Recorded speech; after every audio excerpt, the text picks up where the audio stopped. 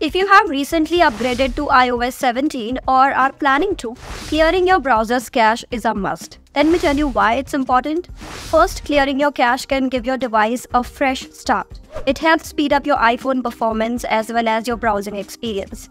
Secondly, iOS updates often bring exciting new features, but they can also take up precious storage. Clearing your cache helps you reclaim that space. So now that you know why it's important, let's see how we can do that. To clear cache in Safari, open Settings, scroll and tap on Safari. Go to Clear History and Website Data. Then choose Clear History and Data in the pop-up box.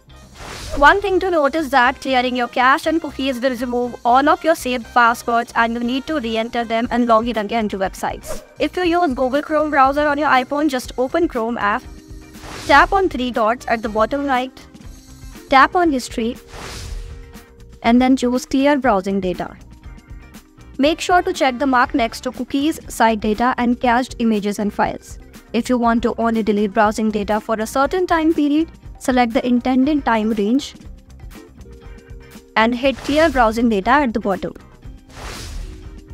If you are using any other browser, don't forget to clear the cache for that as well. So that's it for today's video. We hope this video will be helpful for you. If yes, don't forget to like, share and subscribe for more.